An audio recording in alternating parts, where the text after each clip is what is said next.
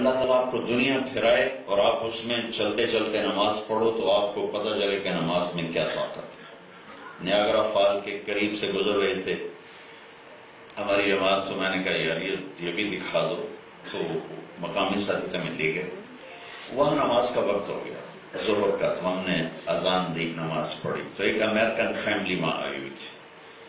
تو نماز سے فارغ ہوئے تو ہمارے پاس آ گیا۔ کہنے لگے، آپ نے یہ کیا کیا ہے؟ ہم نے اپنے اللہ کو یاد کیا تو مجھے بڑا اچھا لگا ہے تو بہت اچھا ہے۔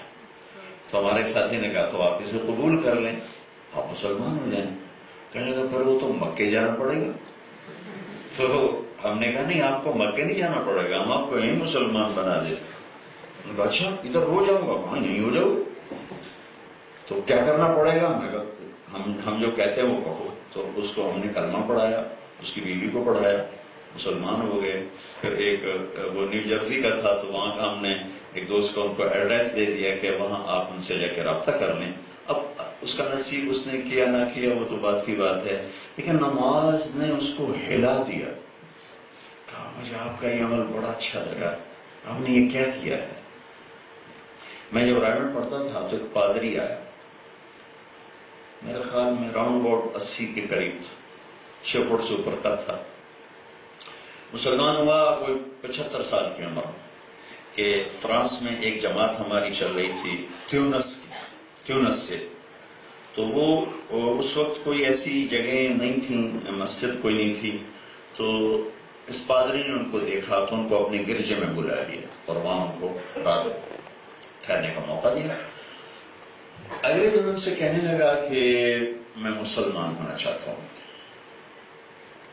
میں نے تیس سال قرآن پڑھا ہے اور مجھے یقین ہو گیا تھا کہ یہ قرآن حق اور سچ کتاب ہے۔ لیکن میں کسی مسلمان کو اس کے مطابق دیکھتا ہی نہیں تھا۔ تو پھر میں یہ سوچتا تھا، یہ کتاب سچی ہے، یہ اس کے ماننے والے سچے آج میں نے تم میں کچھ قرآن کی جھلک دیکھی۔ میں کلمہ پڑھنا چاہتا ہوں۔ پھر مسلمان ہوا، پھر وہ رائمنڈ آیا۔ میں وہاں اس وقت زیر تعلیم تھا۔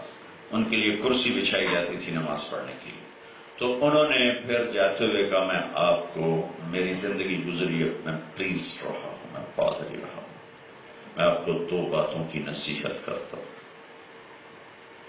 جب آپ یورپ میں جائیں، تو پگڑی آپ کے سر پر ہو، داڑھی آپ کے چہرے پر ہو، شلوار کرتا آپ کا لباس ہو۔ بس صرف آپ یہ لباس پہن کے گزر جائیں، کوئی بات نہ کر صرف یہ لباس پہن کے گزر جائیں۔ اور جہاں نماز کا وقت تو اذان دے کے باجماعت نماز پڑھیں۔ کہ یہ دو باتیں خنجر کی طرح لگتی ہیں، خنجر کی طرح۔ پھر انہوں نے دعا کی کہ اللہ میرا فرانس میں میں نہ مروں، کسی اسلامی ملک میں مروں۔ تو تیونس گئے ہوئے تھے جماعت میں، وہاں انتقال ہوا، وہیں